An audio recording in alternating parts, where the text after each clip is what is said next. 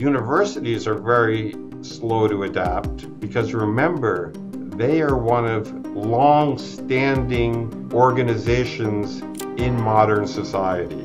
Name the organizations that have been around not decades, centuries. These computational methods, not new. They've been using out computer algorithms to award and deny loan applications, college admissions applications, and so on for many decades now.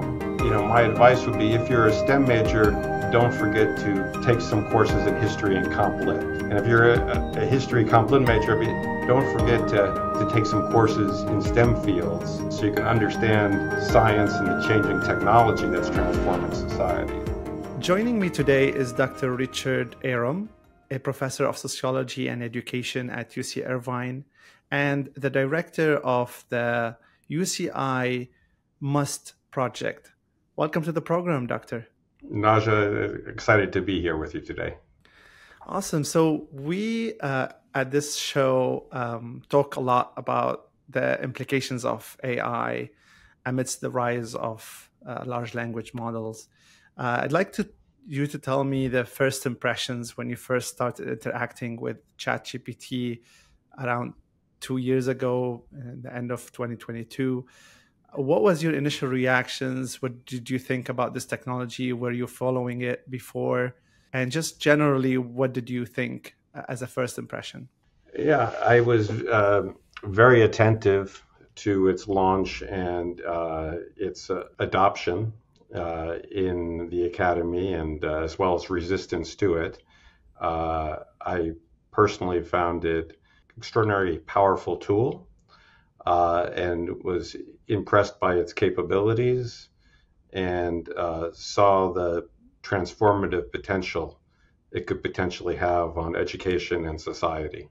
And this is a great venue to start the conversation. So, what do you think those implications, the highlights of those implications, are on education?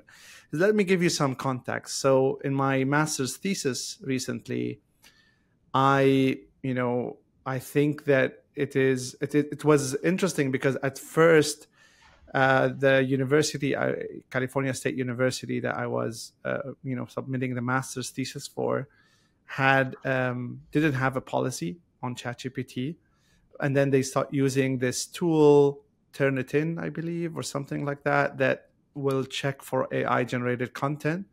But then in the in the middle of that semester, they kind of stopped checking for AI generated content because there was a lot of false positives and false negatives so, but then at the same time, you know, students can easily go to ChatGPT that to write their entire thing, and oftentimes I found it firsthand that it can fabricate reality. Like it, it will refer you to studies that haven't that does not exist. So I found it this very disturbing as well. Yes, well, you know, of course, all tools can be uh, both used as well as abused. So uh, I think one of the things you would hope would happen in education would be to uh, work with students uh, as well as uh, researchers and faculty and society more broadly on helping them to identify constructive uses, productive uses for these sorts of tools that are developing. Uh, you would hope that universities would be kind of at the forefront of thinking through some of these issues and applications uh, to assist uh, individuals in accomplishing their goals more productively. And so I do think because uh, ChatGPT and these other language processing programs are uh, so powerful and sophisticated, it opens up new emerging questions and issues but I also would have to say they build upon prior tools and computational methods and computational resources that have already raised many of these questions before. And so uh, I don't think we uh, we need to approach this kind of issue uh, as if um, we've never thought about these challenges uh, before. You know, think of, for, for example, the use of the calculator in math classes. Uh, you know, we've we've developed effective policies for that. You know, for over the past decades, right? That you can use the calculator for some task. It's helpful. It's time saving. But then there's other places where you're taking a formal assessment that that calculating tool may not be appropriate and it will it would be banned. Yeah. And this is exactly what I want to ask you. Why universities are so slow in adopting change and moving forward? Because I've been uh, my my my family we own a private school back in Lebanon and you know when I was like probably seven, eight, ten years ago, I've been hearing about flipped classrooms and why it's important. And till this day, I don't, I still don't see a flipped classroom. And I feel that this is one way to mitigate the impact of AI on all, on all of this. So instead of having the lecture to be a professor giving a lecture and telling you the information, instead, you know, you should uh, send the students home, let them do their the research or a recorded lecture, whatever, and then the the place for the classroom is for debate for public speaking for nurturing those critical thinking skills within the the classroom environment um, and i feel that this is this is the you know this is a better approach at least to what we're having right now. But universities are very slow to adopt anything new. So why is that? Yeah. Well we first of all uh, uci uh, is you know as a particular case we've been very focused on promoting flipped classrooms and active learning. So i, I think they're adopting uh, these practices but slowly and too slowly so we're frustrated. And so the question why is that the case? Uh, i would say two things. One education scholars talk about this grammar of schooling the grammar of schooling the taken for granted assumptions of what effective teaching and student learning must look like.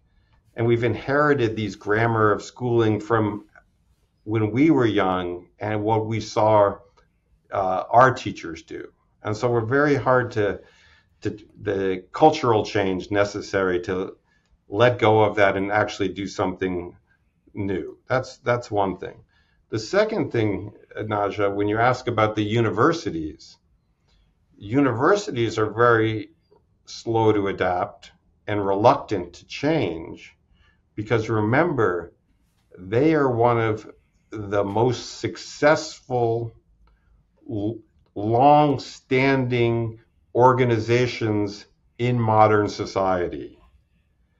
You know, let's set aside maybe the Catholic Church you know some religious organizations other than other than these organizations name the organizations that have been uh, around in continuous operation for not decades centuries many of the you know the universities and colleges in Europe continuous operation success for 500, 600 years with this blueprint of organizational practices and behaviors. And so you go to an organization that has this structural logic of success, and you say, hey, the world's changing. If you don't change, you're going to get displaced by new trans, new disruptive technologies like instruction on YouTube. If you don't change, you're going to confront that. And you say that to an to an organization that's been around for 500, 600 years and has been successful by changing at a glacial pace. It's going to put a an, an, a brake It's going to create organizational inertia. And so that is, I think, in fact, you know, another uh, primary reason for why the the technology in society is changing very quickly, but the institutions are change are not keeping up with those uh, changing opportunities and challenges. And so I think we are at a, at a point where there's a, a disconnect because of these different these organizational dynamics. Let's switch back to ChatGPT and these large language models and other AI yes, tools. We've, we've digressed a little bit from our core topic. Yeah, I just want to know your policy in your class, or if there is any UCI policy that you can talk about when it comes to turning in assignments or writing through these uh, tools. Yeah. So, uh, yeah. So there's a. I guess we can talk about policy. We can also talk about how I've attempted to use it, mm-hmm. and I can also tell you from this measurement. Pro- so I'm directing the UCI MUST project, Measuring Undergraduate Success Trajectories project, where we've integrated unprecedented data at UCI to understand students' experiences, trajectories, and outcomes. It, all the administrative data on students on campus, combined with the learning management systems data from Canvas, all the clickstream data, we combine those two. We longitudinally survey students during their first year on a weekly basis, where we ask about their experiences and their attitudes and so on. We uh, provide them with performance assessments measuring 21st century skills on multi, on different time points in their in their careers. We uh, also use experiential sampling methods where we buzz students on their phones, on their smartphones, and give them a quick 30 second uh, um, survey at random times. Where are you? Who are you with? What are you doing? And your psychological state. We have all this data integrated. Uh, I, I believe it's the deepest data in higher education to understand students' experiences. So I can talk to you about from that study also what we've observed about ChatGPT and student use and instructional encouragement for it. But um, uh, you started by asking me about the ChatGPT policies in the classroom. We don't have a campus wide policy that I'm aware of. Uh, my policy is very easy in when I teach in the undergraduate prison education program because they don't have internet access. So they're not able to see ChatGPT. But last the the winter of 2023, ChatGPT gets introduced in November, late November. I'm teaching January uh, um, in the prison education program, and on the first day, I gave them I asked ChatGPT to write a letter of introduction for a prison education program for a sociologist teaching a research methods course. And it wrote this beautiful letter of introduction saying it was it under it recognized the challenges and obstacles that they were likely to face as, as incarcerated students, uh, but then saw the promise and potential of this. And I copied that and gave it to them. Said there's a new thing called ChatGPT out there that you should take a, a look at. The uh, a week or two later, I don't know whether you remember that New York Times reporter Kevin Roose. He did that that back and forth with ChatGPT when ChatGPT encouraged him to d- divorce divorce his wife and have an affair with him. Remember before they put the guardrails on it on the ChatGPT, and I gave that transcript to the students. I said, "You got to check out this. This is, you know, this is something going on out there in society that you know you you're only partially aware of, if at all, because you don't have internet access."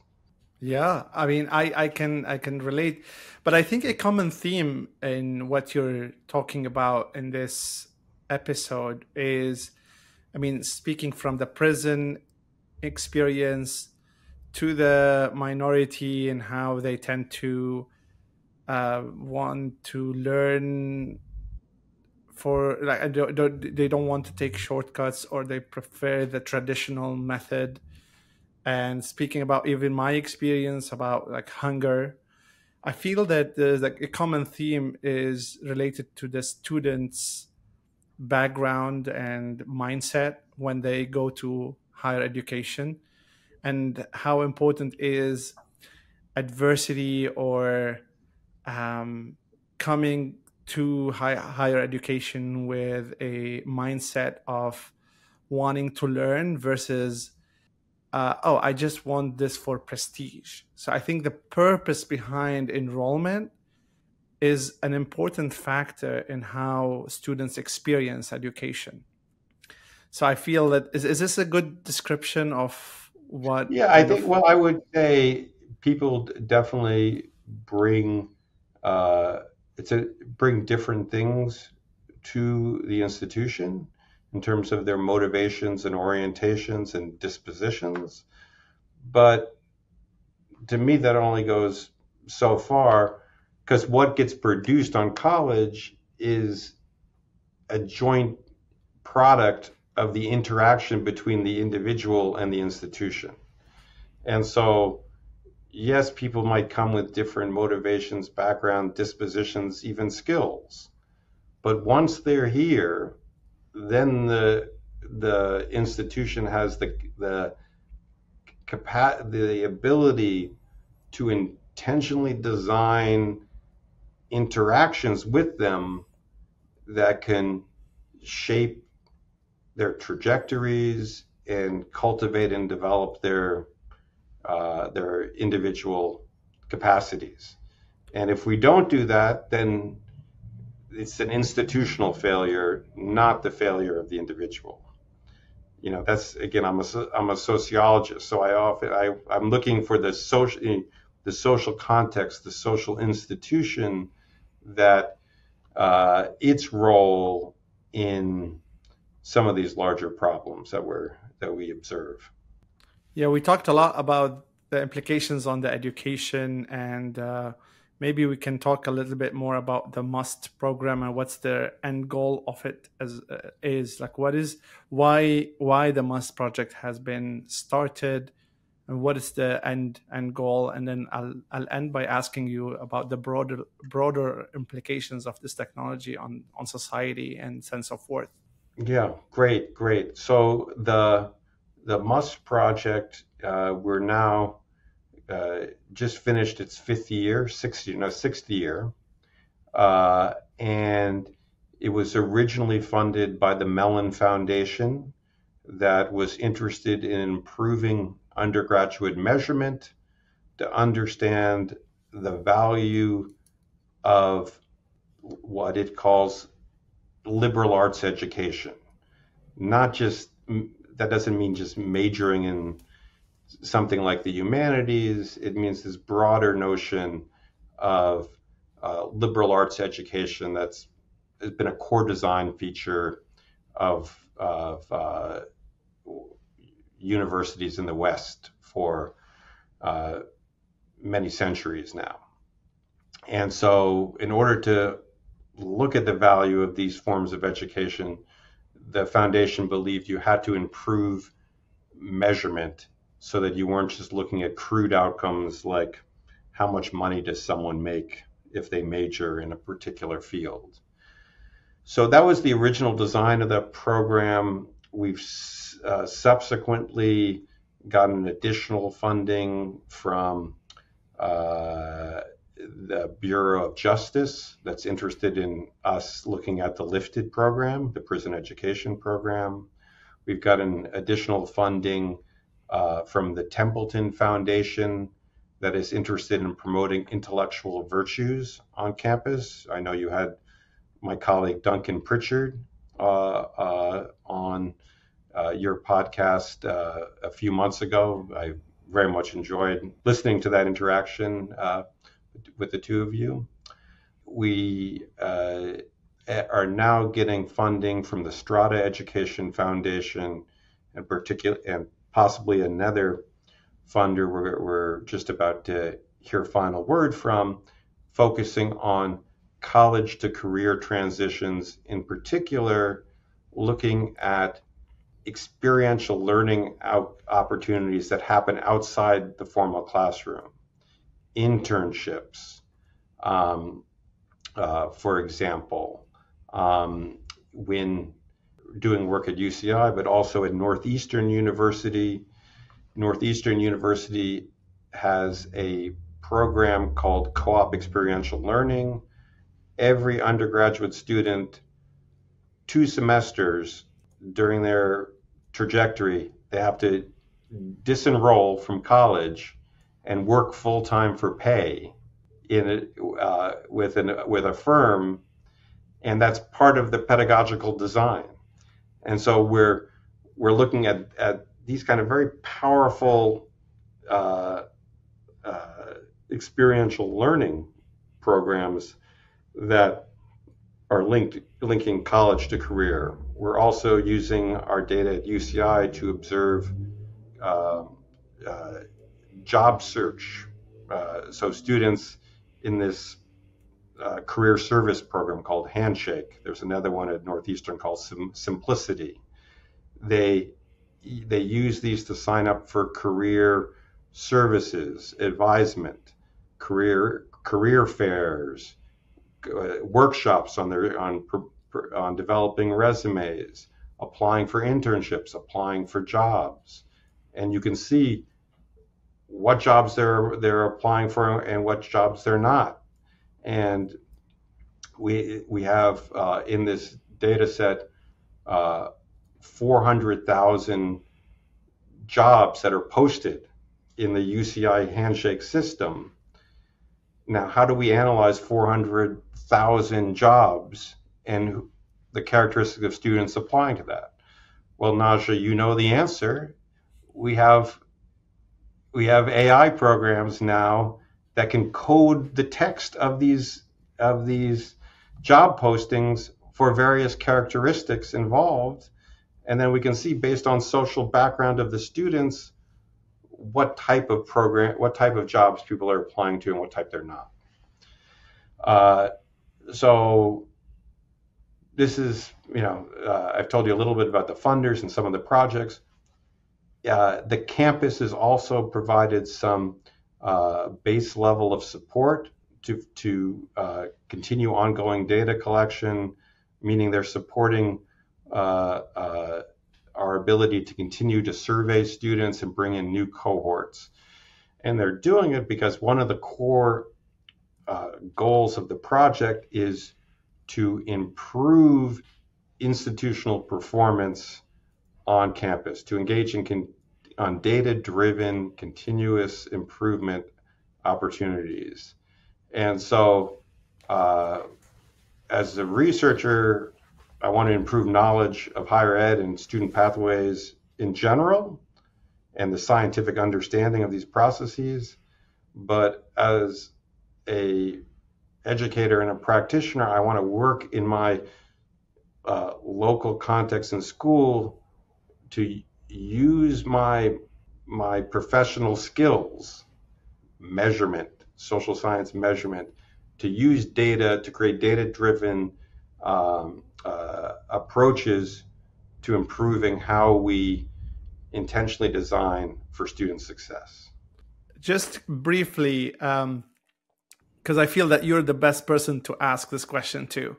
If you're someone, if if you have like a uh, children in, uh, approaching higher education, want to be enrolled in college, do you advise them to go the social sciences, liberal arts, humanities kind of majors based on what you've discovered in the must uh, research, or you you you, you prefer uh, or you would recommend going the STEM majors?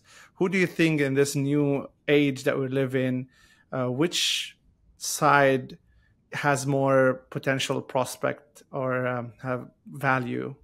Yeah. So my my thoughts would be the following. First of all, um, a lot of it depends on the on the individual interest of the student, and so I think it would be uh, we'd be doing a disservice to uh, individual students to not uh, start by trying to understand what their needs and interests are. Remember, we talked earlier about the, the, the one of the great things about AI is it can personalize, it can be adaptive. So you'd want to start with the student's needs and then kind of advise. I would say some general things though, and that is um, one of the original logics of liberal arts education was this idea of course breadth. That even if you were focused on a narrow discipline, maybe with a professional occupation, that it be complemented with courses from other fields. Uh, so you could develop larger dispositions and uh, competencies and develop understanding of concepts that, that could help your your larger higher order development, your uh, larger uh, cognitive growth. And so, uh, you know, my advice would be if you're a STEM major, don't forget to take some courses in history and comp lit. And if you're a, a history comp lit major, don't forget to to take some courses in STEM fields that uh, so you can understand science and the changing technology that's transforming society. So that'd be another kind of general advice I would give them.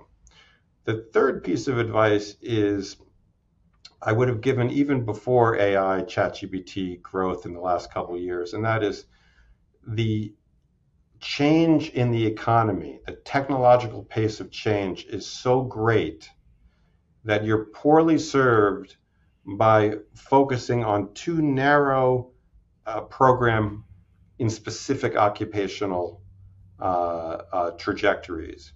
Why? Because that occupation might not exist in five years. That um, the firm might not exist. The the sector might not exist. There's, the, the, the pace of change is so great that the cost of narrow specialization has increased. And so you're, again, course, a little bit of course breath, a little bit about hedging, so that you build these larger competencies so you're uh, able to adapt to changes, to move from job to job when necessary, occupation to occupation, to uh, develop a, a lifelong passion for education and ongoing skill development and comp, you know, uh, developing those sorts of cap- capacities and orientations, I think would be more important than either where you what you major in or where you go, because it, you you uh, a person in any institution is able to engage in this transformative character of education. Uh, even if the institution itself isn't uh, designed effectively to uh, ensure that that happens. Yeah, I, I know we're, we're running a little bit out of time, but I don't want to miss the chance of asking you, as a sociologist, about the fact that we have built AI systems that will determine if our resume get filtered for a job based on an algorithm that will determine whether we get a loan or not, whether we get insured or not, whether we probably get admitted to a university or not. Um, an AI system that potentially could be smarter, could have autonomy. You know, they're building all these agency so that these systems not only respond to what you prompt them, but also take action and have their own goals and be active in society and potentially be equipping the robots that we were going to be seeing in every home you know eventually. What are the sociological implications do you think briefly? Um, i know this is probably not your um, like you, you, haven't put a lot of uh, research in but just from from your perspective what do you think the implications are yeah well so uh, one i would point out that these computational methods, again, are not new. They've been using out computer algorithms to award and deny loan applications, college admissions applications, and so on for many decades now. Uh, so I, certainly AI will probably accelerate and make those, you know, uh, accelerate and further refine uh, some of these applications. Uh, we know from a you know many years of study that we need to be uh, worried about implicit bias in uh, the algorithms and AI programs that, of course, have been developed based on the existing data from society, which itself is steeped in these implicit biases. And so the it's not the AI machine's fault. It's our fault for for creating this corpus of information that is so flawed uh, and uh, biased in uh, in these ways. So it, it it's uh, we need to worry about that and the societal implications of that. We uh, um, you know another piece obviously is uh, a lot of these AI programs are leading to the further concentration of power and wealth in society. And so I think there's uh, increased risk, not of the AI machines making uh, um, technologically transforming society and creating more wealth and prosperity for the society. But the problem that that the concentration of power and uh, uh, power and resources behind these systems that the benefits and the cost of these these technological changes are not going to be equally distributed. I think that you'd have to be worried about that. Um, looking at it as in like a technology like any technology. Uh, you know, again, we have thousands of years as human beings of new technologies coming in and how they get um, adopted in society and appropriated by those in power or not. So I think that that's a, a, an additional piece that one would uh, would would need to think about but you know, again, I, don't want to want to end like these are powerful tools that have the capacity to improve many aspects of society and how we organize and uh, organize and, and function in many different domains uh, in society. And we should not let our fear or our worry about their misuse prevent us from taking advantage of them and learning them and, and applying them in ways that help us achieve the outcomes that uh, we're hoping to in our society and uh, and hoping to use them to kind of expand expand equity, expand uh, prosperity, reduce the environmental harms in society, threatening all societies in, at, at, this moment and leading to huge migratory flows throughout the world and international conflicts throughout the world that are threatening the you know the, the political bases of many of these societies.